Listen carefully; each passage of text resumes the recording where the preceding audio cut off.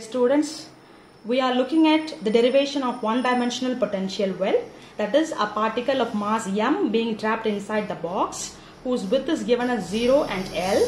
Now the boundary conditions being imposed on a particle has been explained in a detailed manner in the part 1 of the video lecture. Here is a part 2 where it aims to find out the energy and wave function of a particle being trapped inside the box. We'll start the derivation using the Schrodinger's time independent equation which follows as d squared psi by dx squared plus 2m by h cross squared into e minus v into psi is equal to 0. Now here the psi represents wave function that denotes a function of a wave that is a position of a particle at any instant. m represents the mass of a particle, e represents the total energy, v represents the potential energy. Okay, the H cross is a new term for you. Now the H cross is nothing but a reduced form of Planck's constant. It can also be called as H bar. When you expand it, you get H cross is equal to H by 2 pi, whereas H is a Planck's constant and 2 pi is the angular momentum of the particle.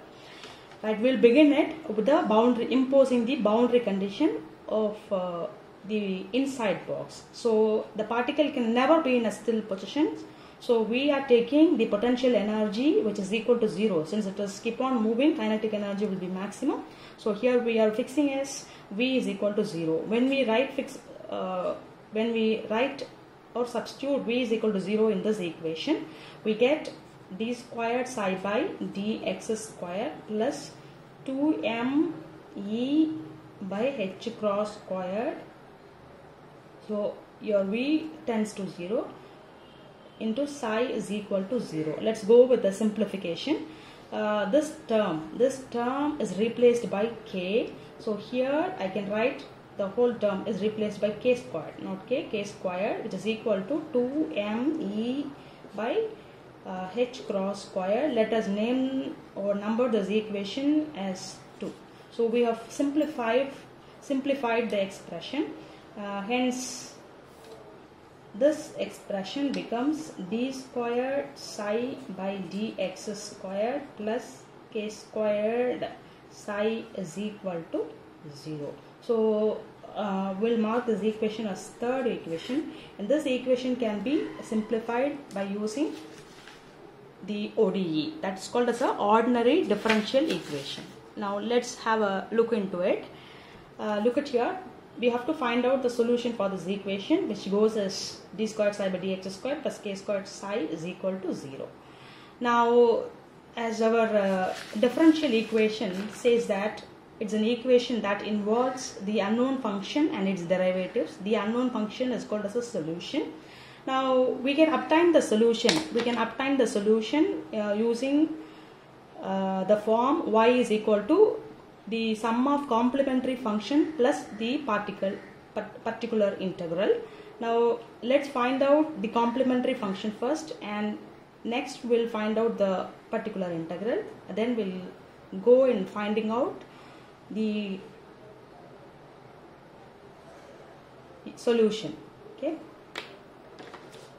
now the derivative with respect to that is d squared by dx squared the derivative with respect to x can be denoted by the term d squared d squared. So hence your equation becomes d squared plus k squared into psi. The psi is common so we are taking it outside which is equal to 0. Now how to find out the complementary function? Uh, it can be found from the associated homogeneous equation that is the auxiliary equation. Uh, so that's why we are replacing d by means of the variable m, m, m so here your equation becomes m squared plus k squared which is equal to 0. So when you write here uh, m squared is equal to you get m squared is equal to uh, when you interchange the term we get minus k squared and when, it, when you find out m is equal to root of minus k squared. So here we know that uh, already we, we, we know that uh, i squared can be written as minus 1 or i can also be written as root of the square root of minus 1. So in, in such a way here we are writing as m is equal to plus or minus ki okay. So here the, the term the term that we obtain the term here that we obtain it goes like this that it takes the form of uh, complex roots So here the complex roots can be written in, in the form of alpha plus uh, i beta. But here as far as our equation is concerned alpha is equal to 0. But here we obtain the beta as k. Okay. Now we got the roots. M stands for root. Okay. Now we got the root as uh, the complex function. Okay. So whenever the roots are complex our uh, the complementary function takes the form e to the power e to the power alpha x into a sine beta x plus b cos beta x. This is the equation. Once again i repeat. Whenever the roots take takes a complex form the complementary equation can be written in this way. This is a formula. Now here we have to substitute. What is our function? We are substituting that L is uh, alpha is equal to 0 and beta equal to k in this equation. So uh, after substituting the alpha and beta we get the equation as uh, e to the power alpha is what? 0x into a into sine beta is equal to kx plus uh, this is b. b cos beta is what? kx okay? So e to the power 0x is equal to 1 hence our uh, expression becomes that is the complementary function okay, becomes a sine kx plus uh, b cos kx okay. Now uh, we have to find out the other part that is a particular integral. Uh, since uh, on the right hand side we get 0 that's very easy to find out particular integral or simply it is taken as 0 so doing so uh, here the final solution. This is the equation. This is the expression to find out the final solution. Y is equal to complementary function plus particular integral. So in our case we have psi. So here psi is equal to complementary function is a sine kx plus b cos b cos kx that plus 0 okay? So this is the solution that we obtain for the equation. D squared psi by dx squared plus k squared psi is equal to 0. So heading back uh, we are writing the solution for this equation as psi is equal to a sine kx plus b cos kx kx. Now our aim is to find out the solution the expression for the for psi as as well as the energy of the electron. Now next we have to apply the boundary condition in order to find out the wave function. As in the last class we know we are very much familiar about the boundary condition and I'm uh, recollecting the boundary conditions here. Psi is equal to 0 at x greater than or equal to between greater than or equal to between 0 and L. That shows that at the walls and outside the walls. Now here we are making use of psi is equal to 0 at x is equal to 0 and x is equal to L. Now I am taking the first condition psi is equal to 0 at x is equal to 0.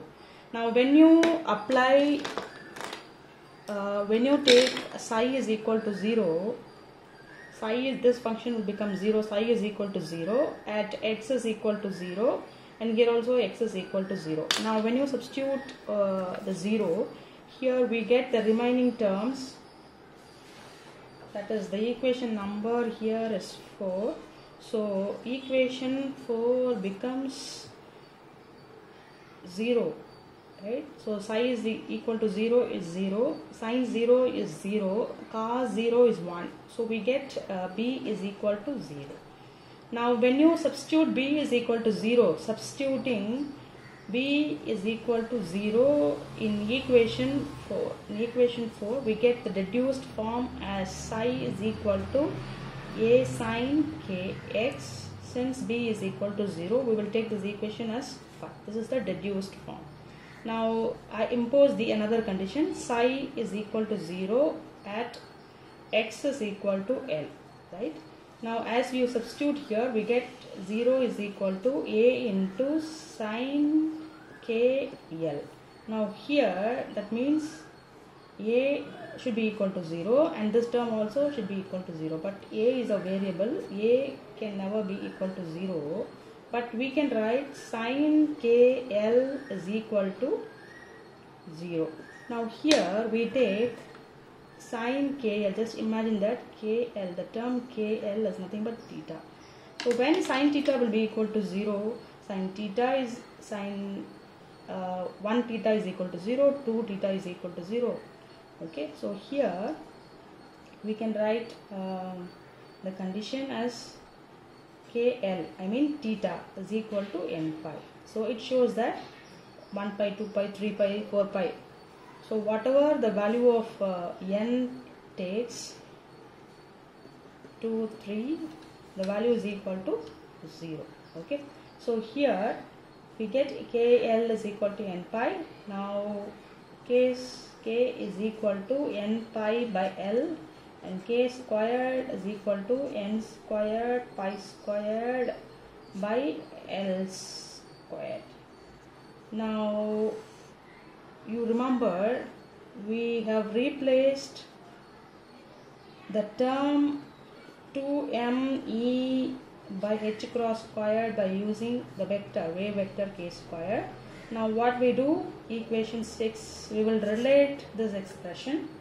Now the, ex the equation for the number for this equation is given as already 2. So equating equating 2 and 6 we get 2me by h cross square is equal to n squared pi squared by L square.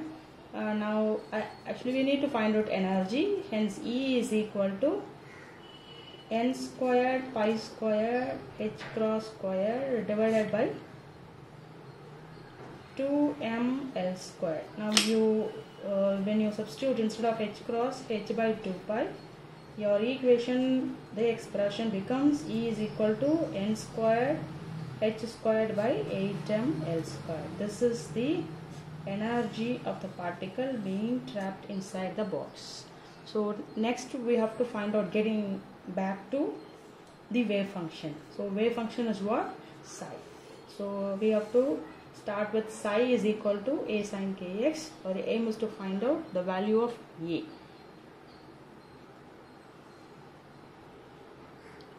So from the previous steps we know that the wave vector k is equal to n pi by l and our equation that psi is equal to a sine kx the fifth equation uh, can be written including the wave vector k is equal to n pi by l. So as we get the psi is equal to a sine n pi x by l which are we are marking as the equation 6. Now here uh, uh, actually beginning at the beginning we have assumed that the particle is to be inside the uh, inside the box now here if the particle is definitely present inside the box what happens to the probability? That is the probability of locating a particle or finding a particle. Exactly we cannot locate a particle but we can predict the uh, presence of particle the position of particle. So according to the probability function the probability is equal to 1. If the particle is definitely present inside, the probability is equal to 1. If the particle is not present inside, the probability is equal to 0. Now the terms what we have is the uh, integral running from minus infinity to infinity, psi squared into d tau is equal to 1. And this is the condition for being a probability to be equal to 1. Now let's uh, uh, revamp our equation with the help of the probability function. So psi squared, already we have uh, psi. Now we have to obtain psi squared, which is given as psi squared is equal to a squared into sine squared in, into n pi x by L. So here uh, we are replacing the terms and that is equal to 1. So probability is equal to 1. That shows that uh, I can definitely find the particle that is being present inside the box. Okay. So now here uh, we have a, a, the term the variable term a squared that can be brought outside. So as we do so we get y is equal to to the right side we get the whole term is equal to 1 by uh, a squared now let's move on to the integration. So here the integration uh, look at here we have changed the limits uh, to the pertaining to the inside the box. Inside the box is running from 0 to L so here sine squared theta, sine squared theta is nothing but 1 minus cos 2 cos 2 theta by 2. So in that way we are writing 1 minus cos 2 n pi x by L by 2 okay? Into dx the same terms 1 by a square. Okay? So now let's bring the 1 by 2 term outside. And here the integral uh, will multiply dx inside. We get dx by 2 and uh, minus so here we'll put a bigger bracket 0 to L. And what we have is the cos 2 pi n n x by L into dx which is equal to which is equal to 1 by a square. Now let's close this close the bracket now the integral of dx can be written as x. So here 1 by 2 the common bracket. So here is x 0 to L minus. Now cos 2 theta that can be written as sine 2 theta by theta. So here we write the terms integrate and write the terms divided by theta. The theta here is what? 2 pi n by L. That is the term now the limits will be running from 0 to L as we have seen in the last step.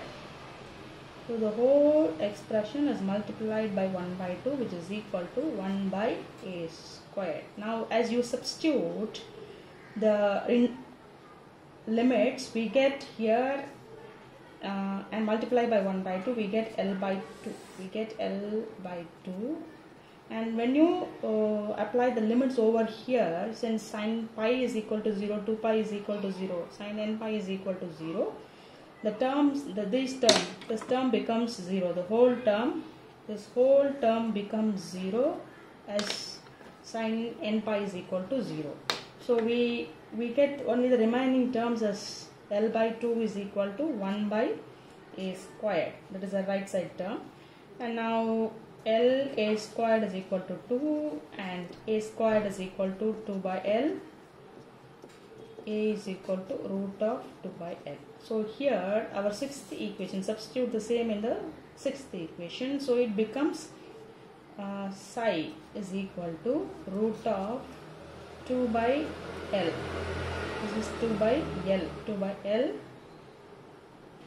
sine n pi x by that's it we have arrived at the expression for this is seventh equation arrive at the expression for the wave function of a particle being trapped inside the box. Now here comes the conclusion. Now look at here. Let's generalize the equation that we have derived. That is, we have obtained the expression for E. That is E. So generalization, we get En. Likewise, psi is replaced by psi n so En gives you the energy values of the electron. When you substitute n equal to 1, comma 2, comma 3, comma 4, etc. n stands for quantum, quantum number. It can never take zero value. So now here we have psi n is equal to root of 2l into sine n pi x by l. It gives you the corresponding wave function of the energy level. Putting together energy and psi, here is a, a diagrammatical representation of energy value see here for uh, when when we have n equal to 1 when we have n equal to 1 and psi is equal to 1 you, we get the diagrammatical representation as like this and when when the energy is being changed okay that is e2 when we get n equal to 2 and psi is equal to 2 we get the separate energy level. And likewise this is the higher energy level. So here it's very clear that energy values of the electron are discrete. This E1, E2 and E3 they are discrete meaning the energy is quantized so it, cannot uh, vary continuously. And uh, as the quantum mechanics says that the particle can never be in a still position even at t is equal to 0 Kelvin uh, the minimum energy can be obtained by substituting n equal to 1 so here we get e, E1 is equal to h squared by atom s squared since n is equal to 1 when you substitute all the energy values all the constant values that is h value then m the mass of the electron uh, mass of the okay mass of the electron and uh, uh, the a is what? The width. When you substitute everything when you substitute everything. So here for in our case we have taken we have taken as l okay. When you substitute everything we get E1 is equal to uh, 38 electron volt substituting all the constants okay. So thus this is the way to obtain the derivation for one dimensional potential well.